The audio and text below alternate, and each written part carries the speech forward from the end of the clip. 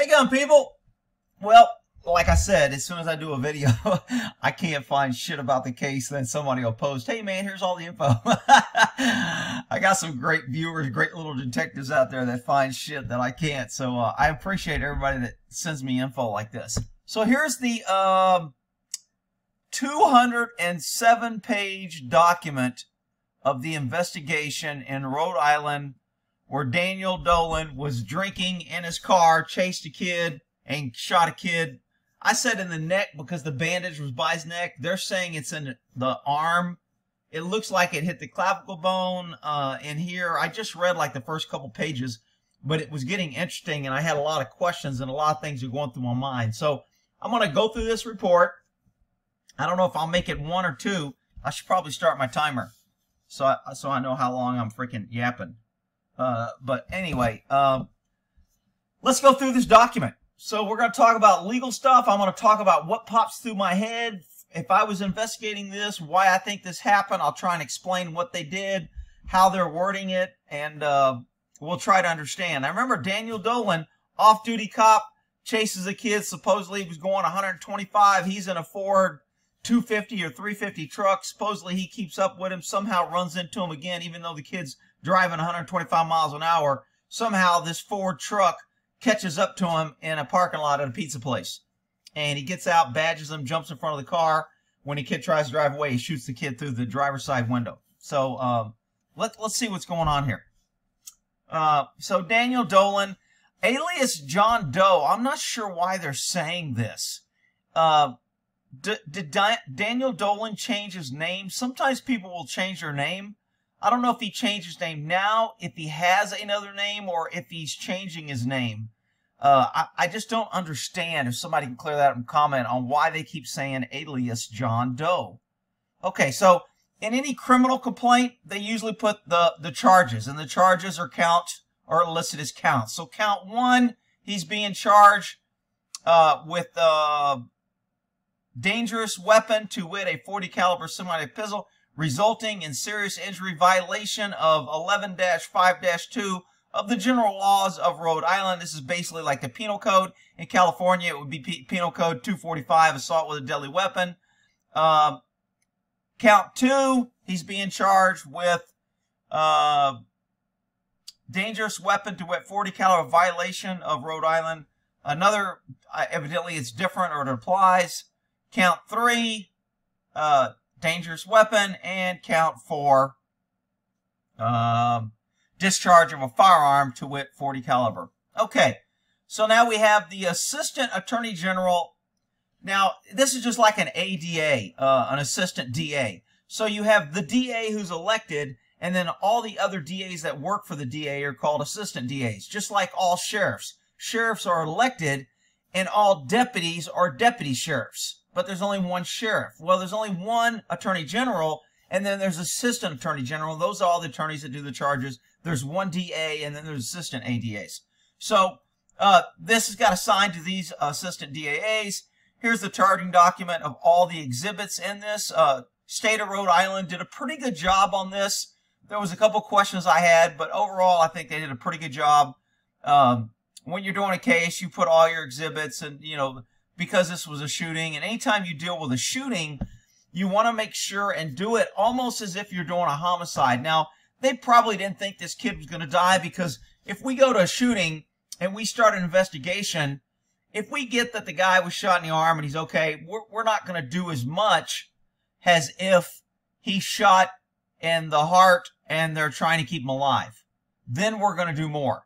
Because if a, if someone dies from an injury from a shooting within a year and a day, then it's considered murder and the charge is changed to murder. And you don't want to have to go back and restart a murder investigation because you did a shitty investigations on a poo butt shooting and now it turns into murder. You've lost a lot of evidence. So in this case, I think they've done a, a pretty good, but not as much as if, if this kid was dead or they thought he was going to die. Uh, let's see. Police narrative incident report narrative. So we're going to go through all these uh, receipt from pizza. I didn't even think they went into pizza. I don't know why they have a receipts from a good pizza. They never even got in there before they got shot. Uh, all right, so let's Uh, exhibit 21, record of firearms, qualifications, trying to show that Dylan was trained. Uh, all audio recordings, handwriting, drawing photos, video surveillance from, so they got cameras from uh, this place. They got camera footage from the Shell gas station, and they got footage from the pizza place. So they had three different footage. Now, they did, probably didn't have footage of shooting, but we'll see. Again, I didn't read this, so you're getting this. You're going to get what's flying through my mind as an investigator as I'm going through this document. Phone records. Uh, they they usually want phone records to see who called 911, what was said, who they called before, who they called after, did they send any texts, did they snap any pictures, is there any videos. So that's why they seized the guy's phone, and they're going to go through that. Police radio and phone recordings. Um, this could be uh, if other people called in, hey, there's two idiots chasing each other, going 100 miles an hour, one's a truck and one's the other. You know, or if they called in, hey, man, there's a crazy truck chasing this Audi and, and there's three kids in the car and, and, and the guy's waving a gun around in the truck. Well, you know, that, that would be good information to figure out what the hell is going on. And then they got some crime scene photos. All right, exhibit one here. What do you got? Criminal information affidavit. Um, State of Rhode Island.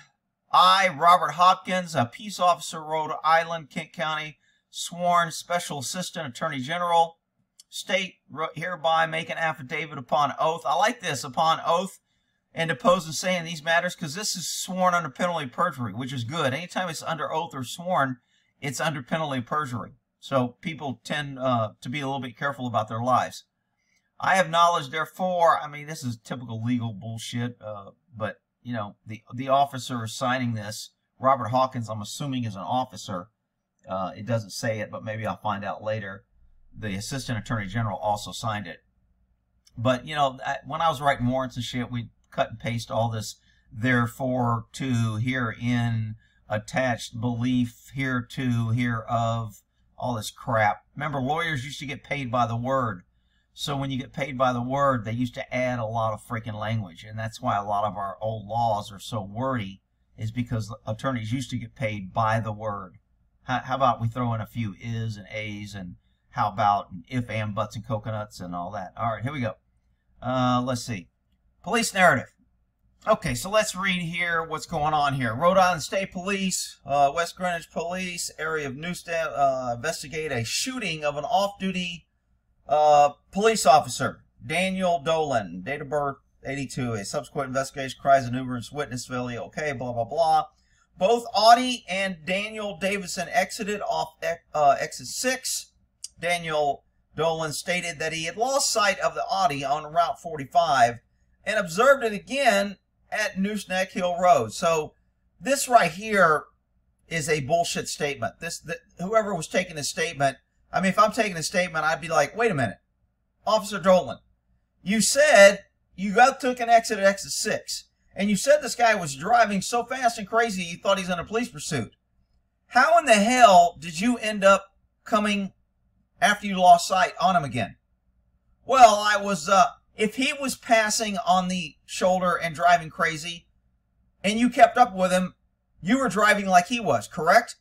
Well, no, I was a buy. I was a, a buy. See, I would have questioned this cop better. So to me, the state police kind of let him give this bullshit statement. Daniel Dolan stated that he lost sight of the Audi, and it appeared again. He observed it again. Just suddenly, suddenly, out of nowhere, it appears. That's bullshit to me. Uh, then he followed the vehicle in the parking lot. He didn't follow it. He chased it. He whipped in that parking lot and cut him off.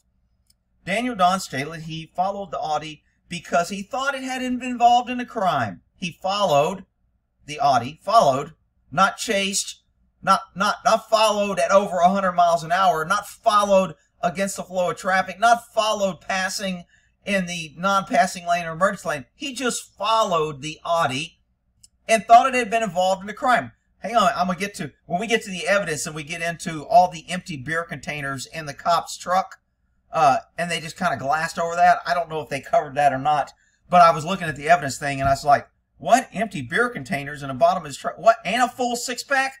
So if he had a full six pack and there's empty containers in the car and he admitted that he took a sip from one, I'm thinking he drank more than one. But his breath test was zero zero, of course. All right. Uh, operator prevent possible injury. So Daniel is being a great, wonderful cop, and he followed this guy out of the goodness of his heart because he's a hero, and he thought it might have been involved in a crime. So thought police, now police can shoot you if they think something without any articulable facts. Because he didn't, I mean, as a cop, if I'm taking this guy's statement, you thought he was involved in a crime. What crime do you think he was involved in? Was it a felony misdemeanor? What? what? I, didn't know. Well, why did you think it was crime? Because he was driving fast. So because he was driving fast, that brought you to the conclusion he committed a crime. Is that what your statement is? I mean, that's how you interview somebody. You don't just let them give their bullshit statement like this. Uh, he wanted to speak with an operator, with the operator to prevent from. Oh, so Daniel is saying I followed him because I thought he was involved in a crime, and he wanted to speak to the operator to prevent him from possibly injuring somebody. Aw, Daniel, Daniel was caring for the public. He wanted to protect and serve the shit out of somebody. He did. He shot the kid. Upon entering the parking lot, Daniel uh, abruptly stopped his vehicle, almost striking the black Audi. Uh, Daniel Dolan exited his vehicle, displayed his police badge. Bum, bum, bum, bum. White 5 here, here. Ordered the Audi to stop it should be noted that Daniel was not in police uniform and was operating as That's good that he put that in there. I'm glad that he said it should be noted that. You know, it should be noted also he had alcohol in his breath and there was empty beer containers in the bottom of Daniel's car. Uh, upon Daniel exiting his vehicle, the black Audi immediately drove backwards. Well, no shit. He was trying to get away. So, see, in law enforcement people, we call this a clue. The Audi drove backwards from the officer. Okay, now that's a clue for you people that can't keep up. That means he wasn't trying to run him over because the officer was in front of him. So the car tried to back away to avoid the crazy man with the gun out of uniform. And the guy with the gun runs in front of his car with a gun, which could be he was getting carjacked. He may not know. He may not recognize him as a cop, which is why you shouldn't get involved in this. But again, he could have ran him over to save his life because he thought he was threatening him with a gun. But for Daniel to say that this guy tried to run him over when in fact, seconds before, the Audi backed away from him trying to get away, proves that Daniel is a freaking idiot. Oh, I'm sorry. That Daniel is confused about the facts. Okay, Daniel followed the black Audi and stood directly in front of the vehicle. Oh, here we go super officer with his Superman cape jumps in front of vehicle and holds his badge up, meaning nobody can run me over. Perfect. And if you do, I'll shoot you. So he stood in front of vehicle, preventing it from leaving. That's called unlawful detention. It's called, um, shit. It's not kidnapping. It could be kidnapping. Usually we call it, um, I can't think of the damn term right now. Anyway, um, false imprisonment is the pronoun I'm looking for. Daniel followed the black Audi and stood directly in front of the vehicle, preventing it from leaving the parking lot. Has the Audi moved forward, not has the Audi sped, not has the Audi hit the officer, not has the Audi tried to run him over. Has the Audi moved forward, Daniel, the cop, the off-duty road cop who had been drinking, moved to the driver's side of the vehicle, meaning he's out of danger, drew his caliber after he moved aside of the vehicle, and they probably know this because of the video footage, and fired a single shot into the vehicle. The bullet fired by Daniel struck him in the left arm of the operator, breaking his arm. After being shot, Vincent drove the Audi a short distance up the road and stopped, contacted 911. Uh, let's see, Daniel followed the Audi after he shot him, contacted 911. So he didn't call 911 until after he shot him. He thought this guy was in a pursuit. He thought he was a danger. He wanted to con him. His policy says that he shouldn't get involved, and he violated all that while drinking. But but he's a hero. I mean, Rick, why are you picking on cops? Why are you always finding these isolated incidents? Yeah, yeah, yeah, yeah. All right. So now we're in incident report. We get detectives, um, felony assault and battery. So I'm not sure here if they're saying the kid did felony assault and battery with his car or is it the cop? So this is kind of um, unclear on what's going on here. I don't know the reports. Uh, here's the victim, Vincent. He's 18. Injuries apparent, broken bones. you know, they put on all the witnesses and everything. Ethnicity, not Hispanic. You got to say who's not Hispanic. I mean, you don't have to say what color they are. You don't have to say anything about them. Ethnicity. Why is that so important? I'm not sure what that has to do with anything. But government loves to get stats. Somehow it's related to getting money. So this is the uh, victims. Is this guy listed as victim? Okay, so victim one is the guy that got shot, and the two witnesses in the car are the two other victims because he pointed a gun at the car and they were in it. Uh, and here we get into the witnesses. So how many witnesses we got? Four, 12, 11. Okay, so we have 11 witnesses that they interviewed. Female, female, male, male, 21, 24, 61, 58. These are ages. Female, male. So we have quite a bit of witness statements from male, male, male, male, male. Okay, from a lot of people. And what do we get here? Oh, we're still in witnesses, huh? So here's a vehicle. A F350. I didn't know if it was 250 or 350. F350. Value five grand. Wow. Figured it'd be worth more than that. Uh, I'm not sure what this not reportable crap is. This must be some private system that they uh, put into some system that they're tracking. Uh, let's see. Glock 23 semi-automatic. Uh, there's a serial number and black in color. Ooh, it's a black gun. Black gun lives matter. 40 caliber cart casing found in a roadway. So they found the casing that he shot one round. A Pawtucket PD shirt. That means he was probably wearing a shirt with his PD's name on it.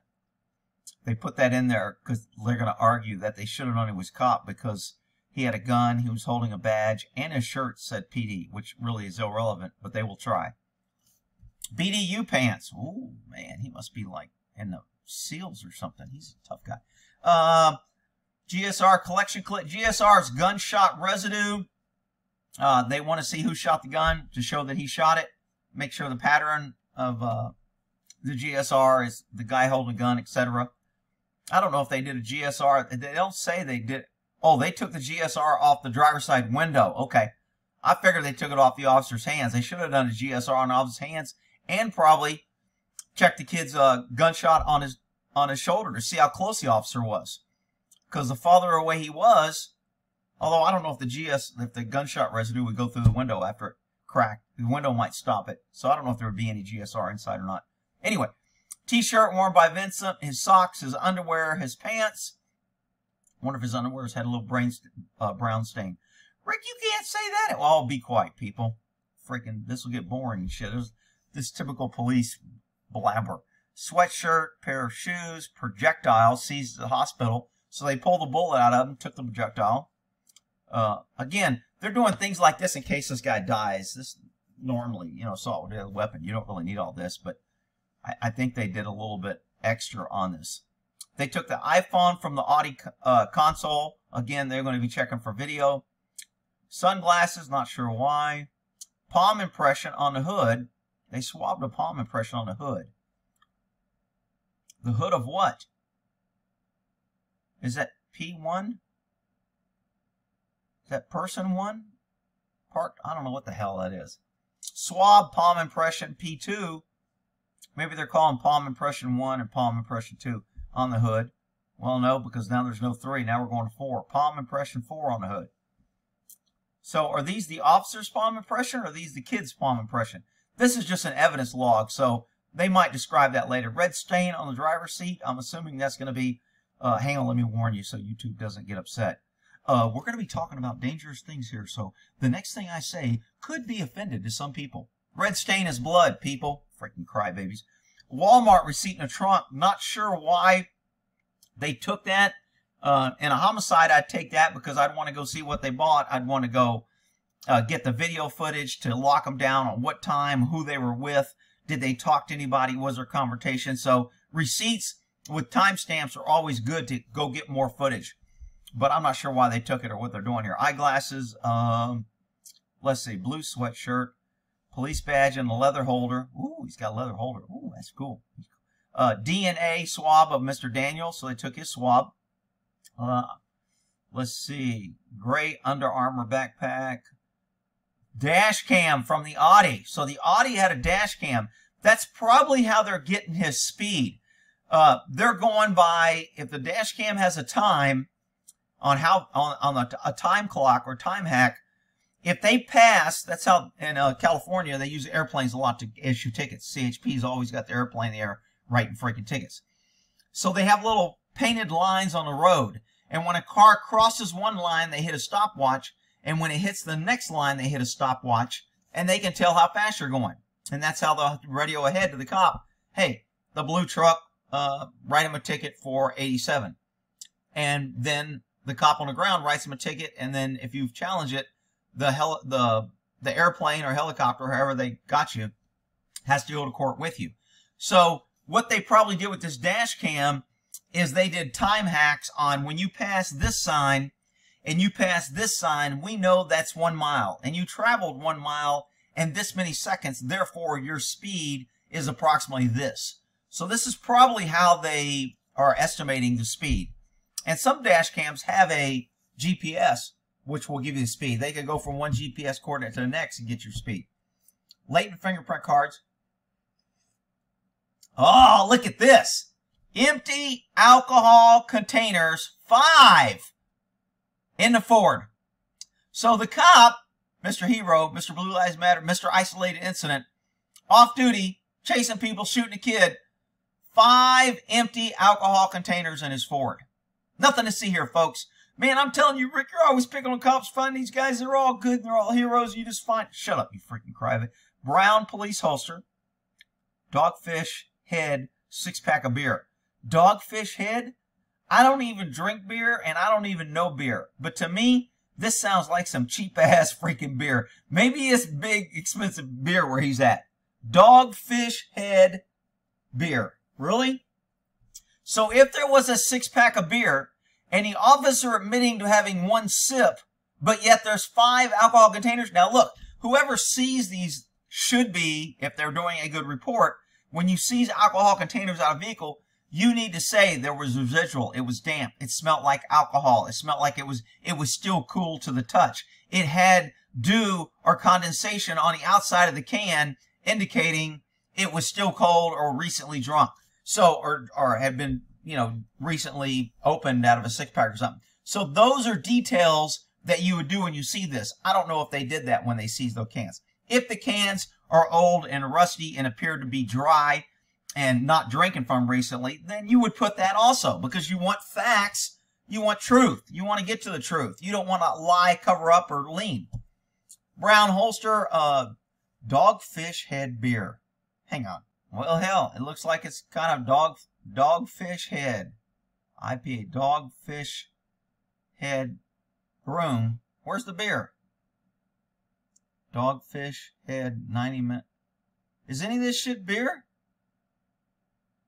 Dogfish Brewed. Oh, this must be like a little private local brewery or something. Alright, sorry, I had to check that out. Alright, uh, let's go here. Vehicle ownership documents. Uh, Swab of red stain. Warning, I'm about to talk about something that could offend you. Blood. Uh, red stain blood, red stain blood, red stain blood. Uh, exhibit 3. What do we got here? Narrative from Detective Hopkins. So Hopkins swore in this earlier that all this was true. So this statement is a sworn statement. So he better not be freaking lying, little weasel. Damn Highway Patrol. Oh, I, I forgot. He's Attorney General. He's not a Highway Patrol. Maybe he does. All right. I, Detective Hopkins of the Major Crimes Unit. Ooh, Major Crime Unit. Not minor crimes, not little crimes, not not just any crime. We're with the major crimes. Damn, I think they made a TV show about that shit. It's just, man, it makes my hair stand up. This is really exciting. Was assigned to investigate a shooting occurred on Newscraig. I was notified that the shooting involved an off-duty Pawtucket officer identified Daniel Dolan. Upon arrival, the scene I observed vehicle window glass and a single cartridge casing on the roadway of the Wick, Wicked Good Pizza. Wicked? Wicked Good Pizza at 12 Nooseneck Hill Road. Nooseneck Hill. Man, I don't know if I'd be hanging out that place at night. But anyway, I definitely wouldn't be hiding, riding a horse in that area. At the scene were two vehicles, a black Audi, uh, Rhode Island passenger vehicle, blah, blah, blah, blah. I was informed that the white Ford was being operated by Daniel and the black Audi was operated by Vincent. Okay. I observed, sorry, I had to drink a cup of coffee. Um, I observed that the driver's front window Audi was damaged, consistent with being struck by gunfire. Well, look, dude. okay, I, I don't know about this statement. If if you shoot a window, I'm assume I'm assuming that window is going to shatter, and because I think it's tempered glass. There was tempered glass on the front. It's not tempered on the side. I don't remember, but I don't think you can shoot a bullet hole through a window on a car without it shattering. But if he saw a bullet hole, I'm okay with this statement. If the glass is still intact, like safety glass, and there is a bullet hole, then I would say, I observed the driver's front window consistent with being struck by gunfire. The glass was broken, but it was still intact, and there was an apparent hole about the size of the bullet or consistent with a bullet going through the glass. I would be okay with that. But if there's no window and it's completely gone, for him to say consistent with a gunfire, I don't know about that. But anyway, again, that's just what, what goes through my head when I read cops' reports. As the DA's office, you know, when we had to follow up on a case or investigate a case, we would get the reports, and I'm sitting here reading these cops' report. I'm like, what the hell is he talking about? Why didn't he ask this? Why? What, what about this? Why didn't you? So that's how I'm reading this report. Uh, let's see. I was notified by Vincent that he had sustained, uh, sustained a single gunshot wound to his left arm and was transported to hospital. Also appeared what to be a dash cam in a car recording. Ooh, cool. On scene, I made contact members, Rhode Island State Police Detective Bureau. Ooh, we had another detective bureau there. West Greenwich Police Department, Pawtucket Police Department, Rhode Island Office of the Attorney General. Man, we had all kind of government there protecting a servant because this guy was speeding. Wow, got shot by a cop. Protecting a servant is shit out of the community. Look at all this protecting a servant money spent. That's just your money. Just pay more taxes, give up your guns. They'll keep you safe. Freaking government trolls. It was determined that the investigators would be led by the Rhode Island State Police in conjunction with the West Greenwich Police Department and Rhode Island Attorney General's Office. So basically, they're saying it was led by this. Each agency's kind of doing their own investigation. I mean, they're cooperating. If they find something they want to share, they can. But they're all doing their separate investigations. I was surprised at what the investigators learned prior to my arrival by the major Tierman of by Major Tierman of the West Greenwich. Oh, so they had a major out there. Ooh, man, a major. It's like high ranking. Wow. See West Greenwich Police Report Incident, blah, blah, blah, for additional information. I was notified Daniel's firearm was initially seized by Sergeant Andrews of the West Greenwich Police Department. The firearm identified 40 caliber gun was later turned over to Lieutenant. Man, we had a major and a lieutenant. Woo, and a sergeant. Woo! At the Rhode Island State Police Department. I was later informed by Lieutenant DeMarco that Daniel's firearm was examined and found to have 12 cartridges of ammunition of a maximum of 14 cartridge capacity. Now, most people will go, wait a minute, he fired two rounds. No, a lot of cops won't load their magazines full. They'll load their magazine full. Then when they rack the round and put one in the chamber, their magazine is one short. So that's why he did that. Uh, some people will load it, then they'll remove their magazine, re-put that round and put it in there. But that, that's where you get into 14 and 1 and 12 1. Let me make sure I said that right because I'm reading this and talking. I was informed later that the exhibited firearm was examined and found to have 12 cartridges of ammunition of a maximum of 14 cartridges. So it had 12 because he fired one, which would have been 14. So he loaded it with 13 instead of 14, and he fired one, which is why he left with 12. I think that's what happened. Um, when I start getting into numbers and this shit, I always make a mistake. Then I have all the freaking internet experts coming here telling me, well, according to my calculator and Google said that you're wrong. All right, whatever. I was also notified that a field sobriety test had been performed on Dolan, and it was found that his BAC, blood alcohol content, was 0.000 in a preliminary breath test. That's the on-side road PAS, you call it. They take it on the side, then they have to go to the calibrated machine if he was over. See incident of trooper Ooh, there was a trooper there. Ooh, he, he wanted to write somebody a ticket. Probably wrote the driver of the Audi a ticket for littering glass on the highway. Uh, let's see, Corporal Mahoney, Rhode Island. Uh, Corporal was there too. Damn, Corporal, Sergeant, Lieutenant Major. Holy shit. Rhode Island State Police conducted a canvass for video footage. Good. A check of Big River Spirits. That's where he bought the liquor, probably. Uh, West Grant revealed no video. Oh no, maybe he didn't buy it there. No video footage of the incident. Well, who cares if they saw the incident? How about was there video footage of the cars speeding by or shooting by or passing or running people off the road?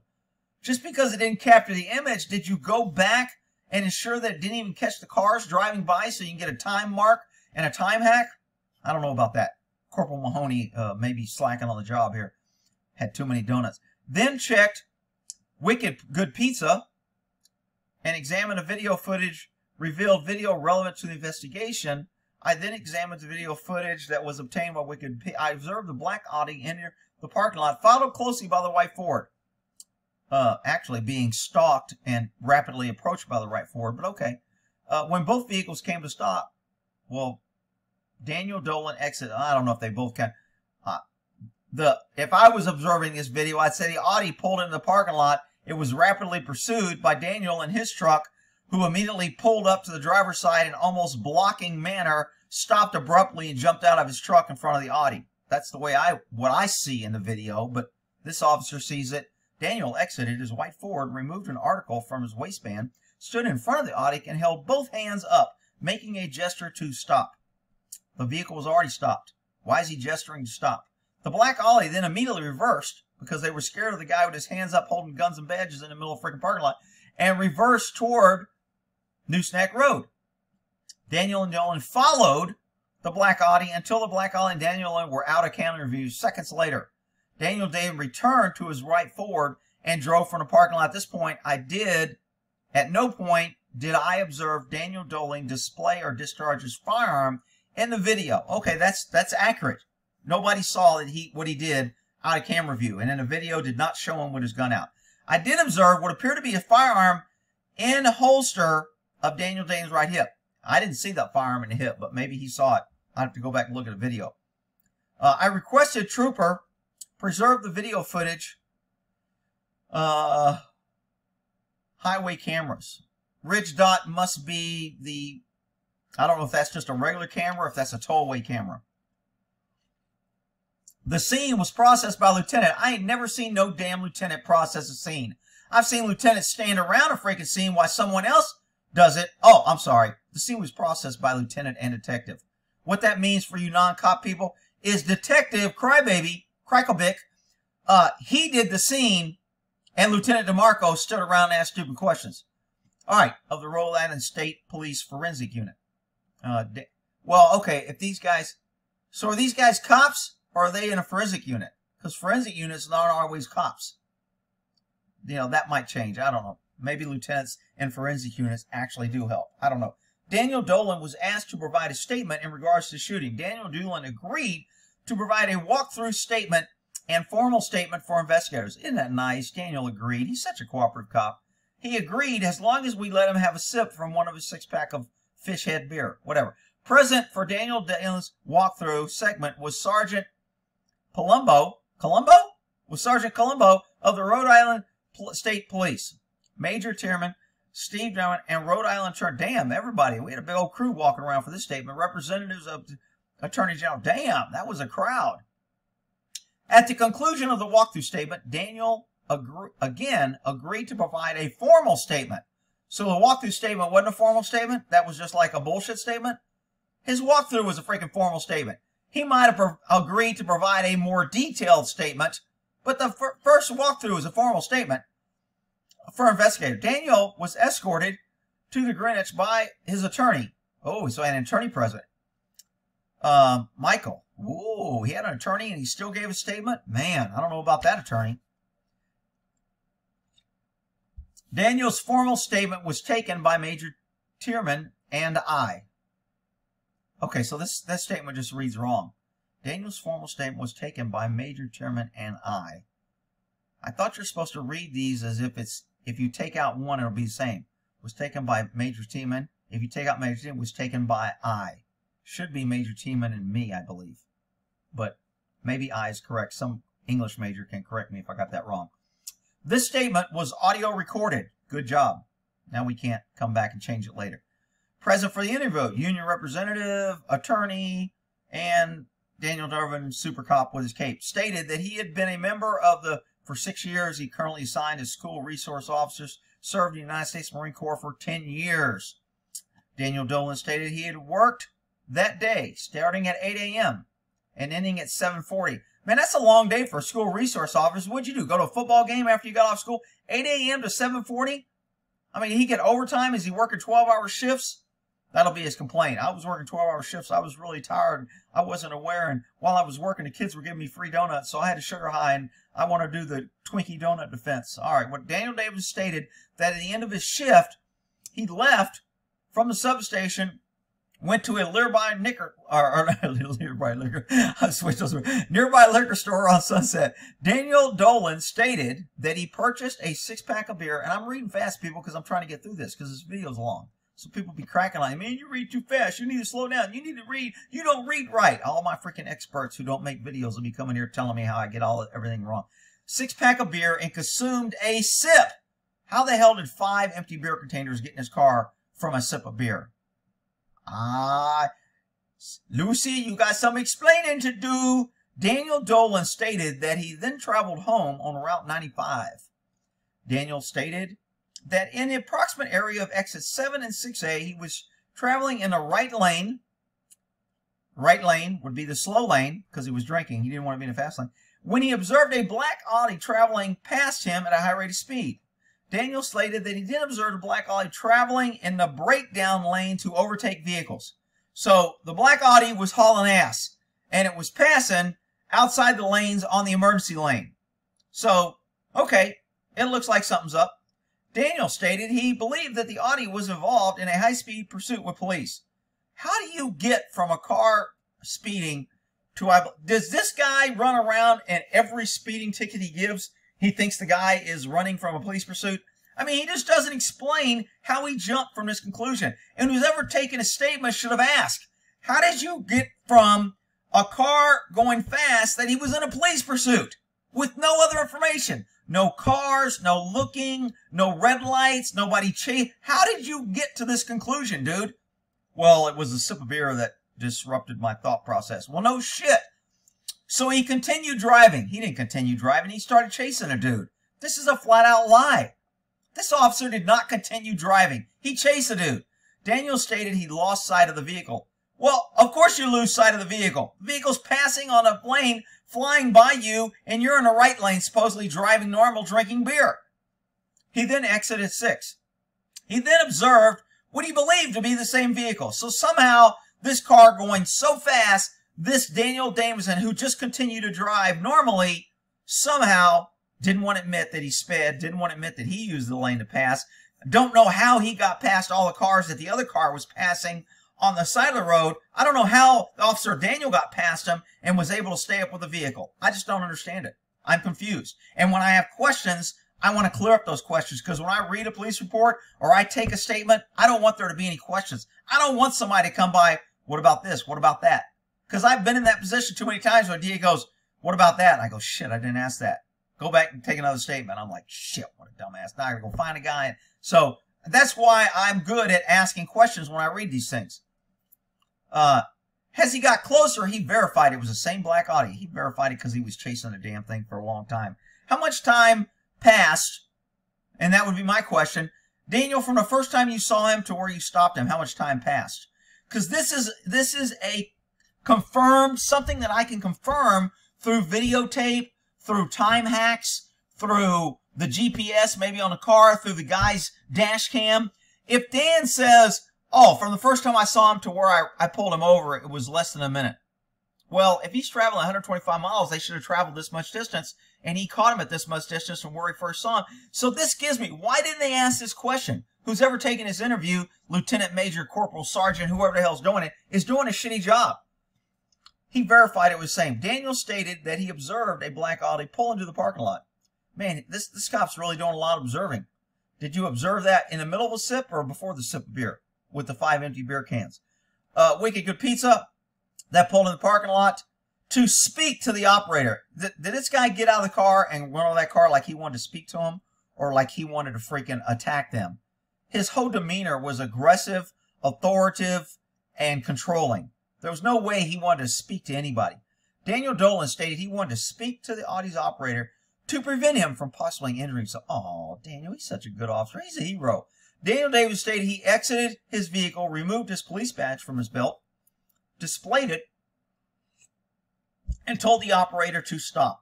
Daniel Dolan, well, okay, so he displayed his badge and told the operator to stop.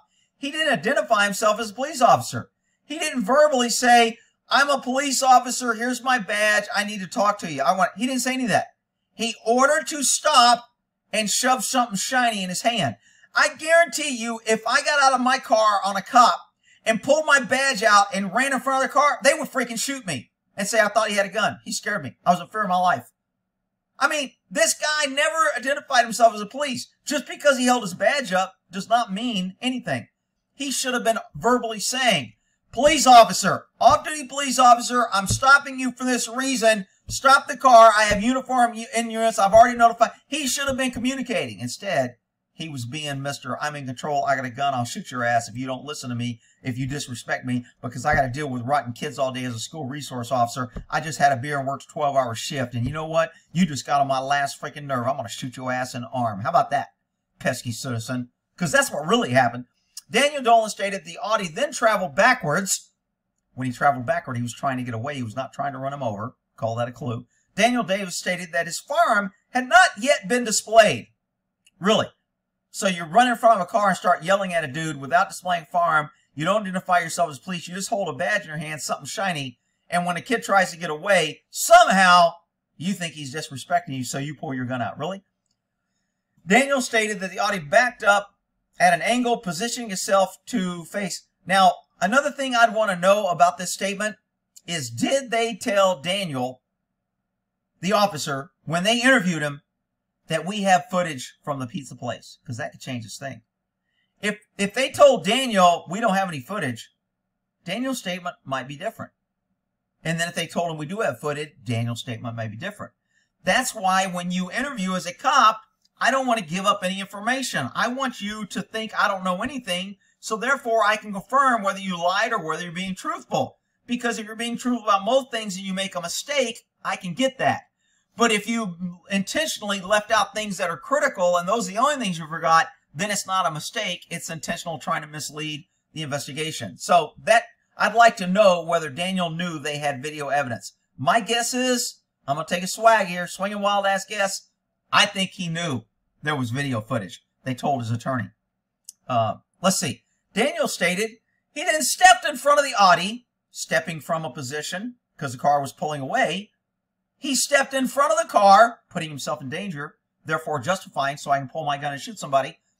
Again, displayed his police badge, raised his other hand, signaling for the Audi to stop. Daniel stated he was standing directly in front of the Audi. False imprisonment, kidnapping, uh, in a road. Daniel stated that to his left was his vehicle and to the right was the remainder of the parking lot. So this sounds like when he backed up, I thought the, the Audi backed into the roadway. It sounds like they were still in a parking lot when he backed up and he tried to go forward in a parking lot. Daniel stated the Audi's position was 180 degrees opposite of the original position when he entered the parking lot. Okay. Daniel stated that the Audi proceeded to drive forward Okay, so if he proceeded to drive forward, he was already driving forward. When you jumped in front of him, he was going forward, right? Because you said you he was proceeding to drive forward, which meaning he was driving forward before you jumped in him. Is that correct, officer? That's what I would have questioned this officer. That's called a good investigation, a good gathering of facts to get understanding of what really happened. Whoever's taking this interview is letting Daniel paint the picture the way he wants it, which is bullshit. Which is why it leads to more mistrust for police, more mistrust for government. They protect themselves. They don't treat government and pesky citizens the same. It's bullshit. Daniel Davis saying he was walking backwards slowly towards the roadway, telling the Audi to stop. Daniel stated that he then drew his gun because he moved in front of the moving car and fired a single shot. Well, wait a minute. How did he shoot him in the arm? Daniel stated Daniel Davis was walking backwards slowly towards the roadway and telling the Audi to stop. Okay, so again, I, I got questions here. If you're walking backwards slowly, are you walking backwards parallel to the store or are you walking toward traffic? And if you're walking toward traffic and the vehicle is trying to go forward, then you couldn't be in front of the vehicle if you're moving to the to the roadway. I mean, this just needs to be cleared up better in the statement, and it's not. Daniel stated he drew his firearm, ooh, fired a single shot at the operator of the Audi. Man, served the shit out of that pesky citizen for speeding. Daniel Dame stated at that moment he fired his pistol. He was walking backwards and to his right in an effort to get out of the Audi's way. He was in fear of his life. Daniel Dolan stated discharged his firearm uh, he discharged, entered the driver's side window of the Audi. Daniel stated that prior to firing his vehicle, he thought that the Audi drove forward. Oh.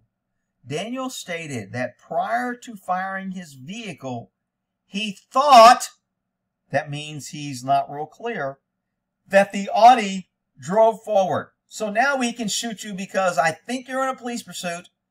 I think you were driving forward, therefore I can shoot you and take your life. Make no mistake about it, this was a deadly force action by the officer. He fired his gun with the intent to kill this dude. He wanted to stop the threat. That's why cops fire. Yet there was no threat. He jumped in front of the car. The guy, the kid wasn't unarmed. He wasn't a danger. I mean, this, this case just stinks. I thought that the Audi drove forward. He's going to take me into the roadway with him and kill me. Oh, so when the Audi drove forward, the officer was afraid that he would push the poor officer into the highway and kill him. So therefore, justifies fear of life. Therefore, if I'm fear of my life, I can shoot anything that freaking moves, and shooting will be justified. Uh, the Audi was approximately three or four feet away when he fired. That's a pretty good distance. I mean, three or four feet's over arm length. If you're walking toward a road and he's trying to drive away, I mean, it's, it's not like you're in front of the car and somehow you get to the passenger window three feet away and shoot the guy. I mean, that, that I, I, don't know about that. That that kind of I, would like to uh, do a little audio visual on this and and see if Daniel could help me make a little video on exactly what happened. Daniel stated that he was unsure how close he was to the roadway he was facing away from. Daniel stated, so by saying he was unsure of the roadway, that creates fear, confusion. Later they'll be argue uh, if he was to be charged, his defense could say, because of the uh, rapidly changing situation, the officer didn't have protection, he didn't have a radio, he knew backup wasn't coming, he couldn't call for backup, he was in danger, he was walking to the roadway, his fear was so so fearful that he was going to get run over by a car or pushed into the traffic and this guy was leaving and this guy could have been armed and there could have been guns in the car and he could have had a bazooka and he could have had, you know, poison that he was going to throw in his face. So Daniel was in so fear of his life, this shooting is clearly justified. Ladies and gentlemen, jury, obviously you can see the officer was in fear of his life and this is a justified shooting. All right, whatever. Uh, facing away, Daniel Dolan stated he fired it. Man, I'm on 48 minutes. Holy shit. Daniel Dolan stated that after he fired his pistol, he reholstered it uh, why did he only fire one round? I mean, isn't he trained to fire multiple rounds? Why didn't he fire multiple rounds? If he was really in fear, remember the Supreme Court said the fact that the officer fired so many rounds showed and legitimized that they were in that much fear of their life. So the Supreme Court ruled by firing a lot of rounds, it shows that you're fearful. What does firing one round show? Well, the logical conclusion is that you're not fearful. But anyway, uh, he returned his vehicle. Daniel stated that he traveled north the Audi. Dolan stated that he dialed 911 as he pulled up the Audi, stated the information of 911 incident. I want to hear the tape. Daniel stated he observed have sustained a gunshot wound to his left arm. Daniel stated that he observed Dominic. That's what he stated? He observed some dude with a gunshot wound? He didn't say, I shot him? I don't know about that shit. That doesn't make sense. I want to hear the 911 tape on that. Daniel Dolan stated, approached him in a non-confrontational manner that he was apologetic and expressed that he thought he was going to die. So the kid, fear of being shot, couldn't believe that some freaking crazy guy shot him and is still chasing him and pulls up on him. Uh, Daniel Davis stated that he returned to his vehicle, retrieved a sweatshirt. Oh, that's a sweatshirt. So he used a sweatshirt and applied it to his arm. So he did render aid and try to stop the bleeding. Okay. I thought one of the kids said that he didn't render aid. So this is different than what the kid said. Using the sweatshirt as a tourniquet, Daniel Dolan stated while he returned, while he was rendering aid, he stated that he did not believe was a real police officer. Good. So the cop stated that the victim said he didn't think it was real love, which shows the state of mind of the victim. It's not like a guy who shot is going to make this up. So this is a very credible statement from the guy that got shot. He didn't believe he was a police officer. Daniel Dolan stated that Con something police, fucking damn word, was the first to arrive on scene, and then he could recall, and that he could not recall who he turned his firearm over to. Okay. It should be known that Daniel M. Fornstein was consistent with his walkthrough statement. Why didn't you record his walkthrough statement? Why didn't why didn't why didn't you record your questions and his answers? Uh, that's what I want to see. I want to see a transcript of the audio recording. But anyway, with the verbal statement made with Major Tillman prior at the conclusion of the formal statement, I photographed Daniel Dolan wearing clothes. I seized his t-shirt and BDU pants. The reason you usually photograph cops after shootings is to show any injuries, any blood, blood splatter, uh, torn clothes if they were in a fight, injuries, blood on them, etc. Uh, and if no nothing of that, then you just take a. I mean, I have my pictures taken several times. You just stand there and you want to get a picture front and back, so that way they can say what you look like at the time of the scene or right after the scene. We get a good picture of what you look like. So later they can't say, "Well, I didn't know he was a cop," because you know, I used to wear a badge around my neck, a badge on my gun belt. My gun belt, I was usually wearing blue jeans or some type of BDU pants. And then I had that police vest on top that said police on the front back or gang task force uh, on, on front or back and in large letters. So, you know, they always want to claim, I didn't know he was a real cop. And then we'd take pictures and we'd go to court and be like, you didn't know this guy was a cop, really? Anyway, uh, Detective Andrew, state police officer, uh, Rhode Island, responded to the hospital, interviewed the suspect. Man, this this uh, interview of the officer was kind of weak in my book. I, I, I would have a lot more questions. Uh, shopping center. Let's see. Dominic stated he had traveled. Why did they black out this center? New England Plaza to pick up some friends. Uh, stated that they planned on picking up some pizza and watching the basketball game. Damn, these kids sound like they're like big trouble. I'm glad this cop got them off the road. They were going to be all kind of problems to the pesky taxpayers. Probably cost them money or something and they were going to have a sleepover at Vince's residence. Stated that he was driving the Audi when he picked up his friends. They went to Walmart. Oh, for groceries. That would have been a Walmart receipt to verify his statement. So that's why they tied that up. Dominic stated after leaving Walmart, they traveled to Wicked Pizza. I drove a little fast from exit 7 from Walmart uh, to exit 6. I was driving a little bit fast.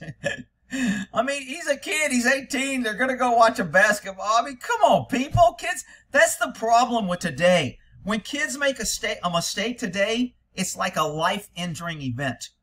You know, I can't. We used to drive around and literally try to get the cops to chase us.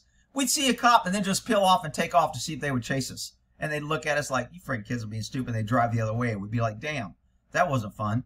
I mean, it's just the, the type of policing that is freaking now. It's like, Everybody's a target, everybody's a criminal, and cops are in fear of everything except other cops. it's just crazy. Vincent stated he exited a highway pulling a wicked pizza. Before he could get out of the vehicle, he observed a large white pickup truck flying into the parking lot. Which, I mean, sounds like they weren't running from the guy and didn't know he was chasing them. Flying into the parking lot trying to box him in. I would agree with this kid's statement. This truck appeared to be boxing him in. I agree. Benson stated that he observed the white truck's door open and immediately knew there was an issue. Put his vehicle in reverse in effort to get away. Of course, that's reasonable. The kid, the 18 year old, is being much more reasonable than the trained Marine police officer. Dementsman stated he observed the white truck's operator, Daniel Davison, display a badge and have a gun on his hip. Okay, so he admitted seeing the badge, which is probably going to hurt him because, you know, the courts are going to go, well, if you saw the badge and you should have known he was cop and you should have complied and you should have listened and good, you deserve to be shot. So the fact that he admitted, see, a better statement would have been, I deserve something shiny is if I'd have talked to this kid, I'd have been like, look, before you give a statement, did you know it was a badge? What did it say on the badge? Could you read the writing? No. Do you know how many stars, whether it was a shield or a point? No. What did the badge look like? Uh, I don't know. It just looked like a badge. Well, did it look like a real badge? It looked like a fake badge? It looked like, I don't know. It just looked like a badge. That's the statement I want from this kid. The way this was written up, he saw this. So the cop's writing this in a way that helps the police officer. Vincent stated he observed a white truck, Daniel Dolan, display a badge, a gun. That cop ended that there. That if I was interviewing this kid, I'd been like, okay, you said he displayed a badge. Do you know what agency it was from? No. Could you read any letters on the badge? No. Could you read what the badge said? No. That would have been a good statement because when you get to court, then you're gonna that's gonna go to whether or not he should have realized that this was a real cop or not a cop. I mean, right here he should have followed up. When you saw the badge, did the guy identify himself as a badge? Did he say it was the police? Did you did he pull his gun? Did he have his hand on his gun? Did you notice anything else odd? No. I pulled into the friggin' parking lot. This guy in the truck jumps out, flashes some sort of badge in my face, and I back away because I don't know what the hell's going on. That's reasonable. I mean, come on. I, this isn't rocket science, people. Stated he did not think Daniel was a police officer based upon his vehicle he was driving, right, the clothing he was wearing, good. Dominic stated that he could hear Daniel yelling, stop, yelling, yelling, stop. Stated that he was backing away. Daniel walked toward his vehicle and stood in front of it. Okay, so this confirms that the officer did step in front of the vehicle. Dominic stated that he was panicked, which is reasonable. 18 year old kid, crazy guy in a car blocks him in, pulls out a freaking badge, and then he's wearing a gun and he's chasing him through the parking lot, and you don't know why. Reasonable. Uh, Daniel Dolan had a gun and he did not think he was a real police officer. Very reasonable. I mean, we tell women all the time, if you don't think it's a real police officer, keep driving. You don't have to stop. Don't stop. Pull over to safe. Call 911.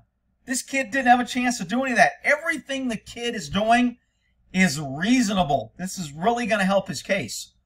Doesn't help him from getting shot or killed or being dead, but, you know, nobody wants to think about that because Cop's a hero. Vincent stated that Daniel put his hands on the hood of the Audi. Oh, so he was banging on the car. That's why they got the palm prints. On the Audi and is just standing there. So he's trying to stop him, putting his hand in the car, getting in front of the car to set up deadly force. He wants to create a deadly force situation so he can claim, not that he really is fearful, he can claim fear of his life and shoot, which is exactly what I'm saying over and over. It's been happening for years, and it's just freaking sickening. Vincent stated that he turned his vehicle more towards the road in an attempt to get away, so he's trying to avoid him. Vincent stated that he was driving away. Daniel Days hopped over the hood of the car. So this cop jumped on his hood. That's why all the palm prints are there. See, when you get more information, when I'm reading the evidence report, I'm kind of like, why are they taking palm print here, palm print here, palm print? Okay, now I know. He tried to stop the car one, and then he jumped over the hood. Is he really in fear of his life if he's jumping on the hood of a car? Come on, people. Uh, jumped over the hood of the car and ended on the driver's side of the vehicle. Now, somebody's going to say, look, the cop was in front of the car and he had to jump on the hood because he was in fear of his life and he thought he was going to run over. So jumping on the hood of the car shows that he was about to get run over and he's fearful. I don't believe that. I think this cop was out of freaking control screaming, you better stop. And he jumped on the hood. But, you know, so far, the kid, all right, uh, jumped on the hood of the car, ended up on the driver's side of the vehicle. Vincent stated that he heard Daniel scream, You're going to get shot. So let me get this straight. This cop was so fearful and it happened so fast and he was in so much danger, he had time to jump over the hood of the car, get by the passenger window, and warn the kids you're going to get shot. If he warned the kids you're going to get shot when he's standing on the side of the vehicle, he is not in fear or in danger. The kid's just going to drive away. He shot him for driving away. This cop is screwed if they believe this statement. So the cop warns him you're going to get shot, indicating that he wasn't fearful and it wasn't rapidly evolving and it wasn't totally out of control. And him shooting wasn't a reactionary measure of his fear of getting run over. It was more of a threat because he was pissed off. Dominic stated that Daniel then immediately shot him. Wow. Vincent also stated that he heard that he was going to be shot. He put his foot on the floor of the gas, which is reasonable. stated that he was shielding his body turned toward the passenger seat. When he was shot, Vincent later stated that Daniel Dolan shot him. He was standing at the driver's side of the vehicle and he was traveling forward approximately two or three miles per hour.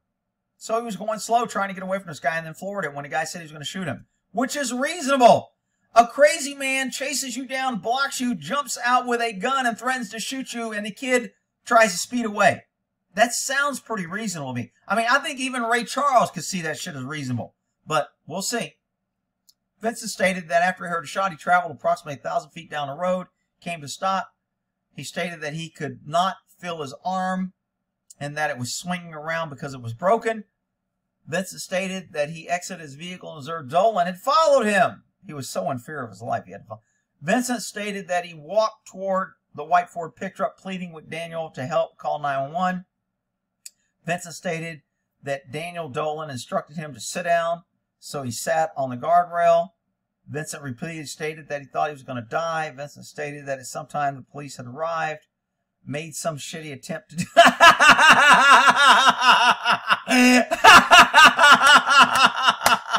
that shit's funny. Oh my god. So Vincent stated that something after the police had arrived, Daniel Dolan made some shitty attempt to. that shit's funny, people. Come on, man. I would if I was taking a statement, I would have busted up, man, because probably Dolan just said, "Here, man, I'll put this shirt around here and I'll freaking just tie it." And he probably did one wrap and a tie. that shit's freaking funny. Rick, it's not funny. Somebody got shot. He could. Oh, be, please, people. Look, we're at one hour. I told you this is going to be a long video. Uh, this is a lot of shits, but you're going to see how an investigator, if I was investigating this, how I would go through statements, what I find questions, what I question, why I do what I do, and why officers should or shouldn't do what they do, and why you, as a citizen, shouldn't give a statement that you should or shouldn't do. Should I make this another video so the other one? All right, we're at one hour, two minutes. If you want to come back, I'll do a part two to this. And then that way everybody don't have to complain because obviously some people don't know how to stop a video or turn it off or leave. They would just rather sit around in comments and complain, the video's too long, I got to an hour, you were still talking. You know, I guess it's just too hard. Let me help you idiots who can't freaking hit pause. I'll stop this and we'll do a part two.